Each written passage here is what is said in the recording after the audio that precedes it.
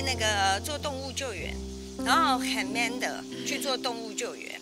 其实他们让我想起我老公，刺青、高大、凶猛，然后就看到有人虐待狗的时候呢，呃，以前我们家的爸爸就是这样站在那里这样，然后那人家就就不敢了。我照顾过各式各样的动物哈，那么我发觉啦，就是狗跟人啊，他们在情绪上面呢，其实是呃最密切的、最相似的。那甚至于在感情的执着上面，狗是比人还要深。所以呢，也许你们分开了一段时间，你跟狗相处分开了之后，可能这个主人会慢慢淡忘它，可是这个狗到了死之前，它都不会忘记它的主人。就是说，狗狗只是你生活的一部分，可是你却是它生命的全部。我不觉得毛小孩是小孩，我觉得他们跟我们人类是一模一样的东西。他们也有个性，也有情绪，然后当然也有好人，也有坏人。那他们有时候甚至可以教我们，教我们一些事情。所以我并不觉得毛小孩是属于我要去照顾他，或者是他是我的宠物。我就觉得他们是跟我们一模一样的生命。以前我们家最会捡狗的是爸爸，他反正看了狗不行，他就救回来。所以我们家最多的时候是七十多只。那么在我们手上照顾好送出去，这样子，然后甚至于包括他的爸爸沿路喂狗，那么这样子的状况真的上千只。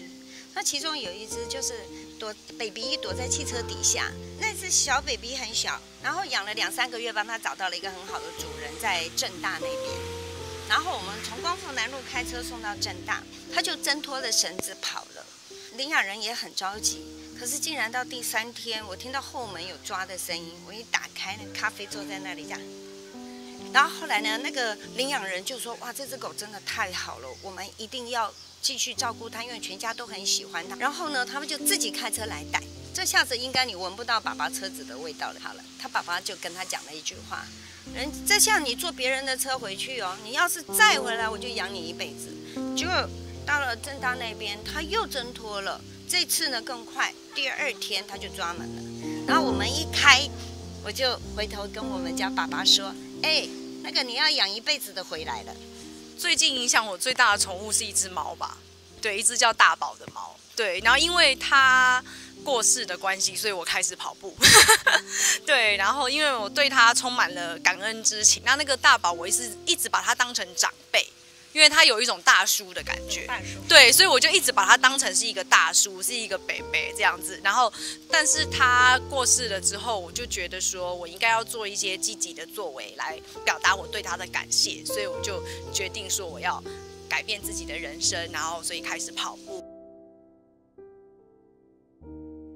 我做这个动保志工呢，已经超过了三十年。从全台湾当时只有一个动保团体，到现在动保团体超过两百多。